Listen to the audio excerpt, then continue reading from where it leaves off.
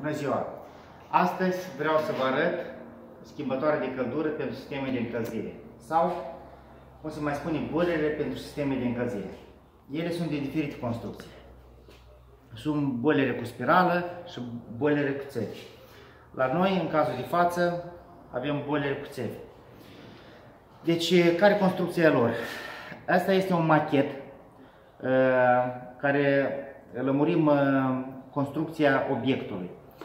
El are două funduri, unul sus și unul jos și țevi între aceste funduri care țin fundurile lipite, le țin dure ca să nu joace. Și mai iau un capac, un capac rotund deasupra și un, uh, și un, uh, un filet, e ca așa, ca în exemplu ăsta. Asta e deschis, noi arătăm construcția.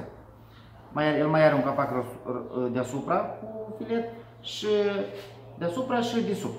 Acum, care e principiul de lucru? Apa dintr-un zmeivic, cateol, schimbător de căldură, nu contează denumirea, contează funcția, care stă în plita la sobă, trece prin filetul ăsta și prin toate țevele merge prin trânsul, îl pătrunde într-un capăt până în altul și ies prin partea cealaltă. Sare în vedere că o apă ferbinte încălzește altă apă se numește schimbător de cătură sau în limba rusă teplo-obmenic. Boiler pentru sistem de încălzire. Apa din sistem nu se încurcă cu apa care o folosește.